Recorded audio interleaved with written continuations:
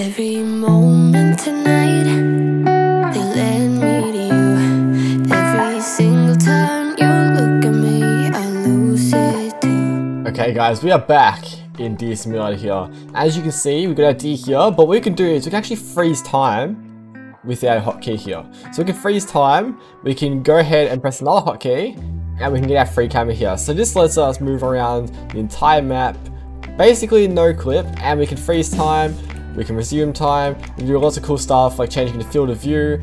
So I can change up to 90 degrees field of view for example.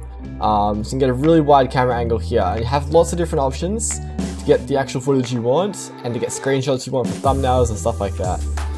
So for example, you want something set up perfectly, I can go ahead and uh, take control of my deer and set him up in a perfect position, which is just here. I can freeze the time, and then I can go ahead and find that position with this camera here.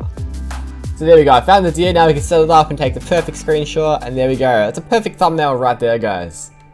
So we also have options here to change the camera sensitivity, which basically is how fast you move your cursor left and right. So I move my cursor a tiny bit and it goes really fast, or I can set it down to be super duper slow, like 0.1, and you can see it's nice and smooth. Now for the movement speed here, this is the normal speed when we're not using our boost, and this is the movement speed when we're holding shift. So I can set this to 10, and I'll walk around, I move around this fast, and if I press shift, it goes much faster.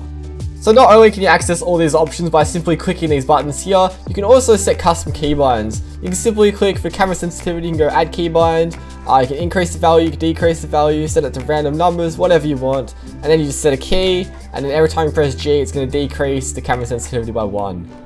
So there you have it guys, that has been the free camera mod, the Deer Simulator. This mod is available to download right now through the AzzaMods mod launcher, available at beta.azzamods.com. Thank you guys for watching, and we'll see you in the next mod video.